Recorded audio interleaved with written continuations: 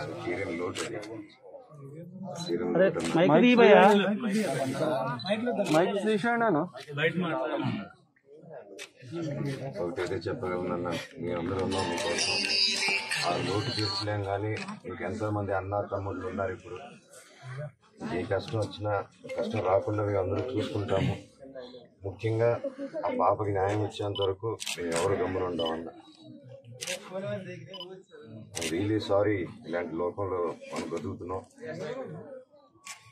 ఇది కనీసం ఇప్పుడు మా నుంచైనా మా జనరేషన్ నుంచైనా మారాలి. మనుషులు మగవాళ్ళు ఎలా ఆలోచిస్తున్నారు అది మారాలి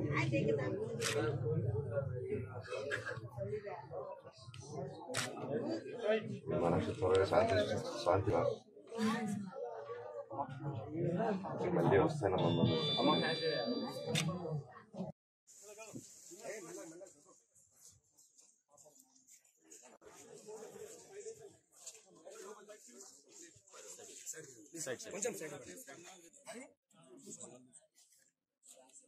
కెమెరా వెనకాల తీసుకున్నాను కెమెరా వెనకాల తీసుకోరా?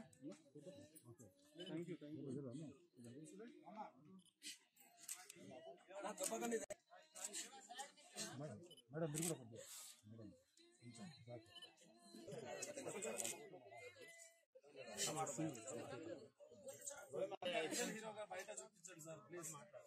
నాకు న్యాయం జరిగేటట్టుగా చూడండి సార్